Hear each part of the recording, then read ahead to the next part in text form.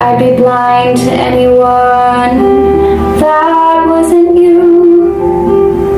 And you would carry me through the darkness, the darkness. What's it like working in the industry today? Um, it's a lot of fun. It's incredibly diverse. You know, it's just you got the thing I love about it so much is that you can do so many different things. You know, you can one day you're going in to do some cheesy voiceover or something, and then the next you're kind of acting like an idiot in some video game, and it's uh, you know the the kind of array of things you get to do is just massive, and that's what I love about the industry today. Oh man, that's such a long question, like hard thing to answer. I uh, didn't do drama. Well, I went to drama school in the states, but I didn't do like the formal drama school training that you have in the UK. That's a slightly hard question for me to answer. No, that's- 'cause that's I'm fair. In the room with with the sound and the picture, and it's quite a an immersive experience. So I felt like it was totally on point. I've asked you so many times to turn your music down.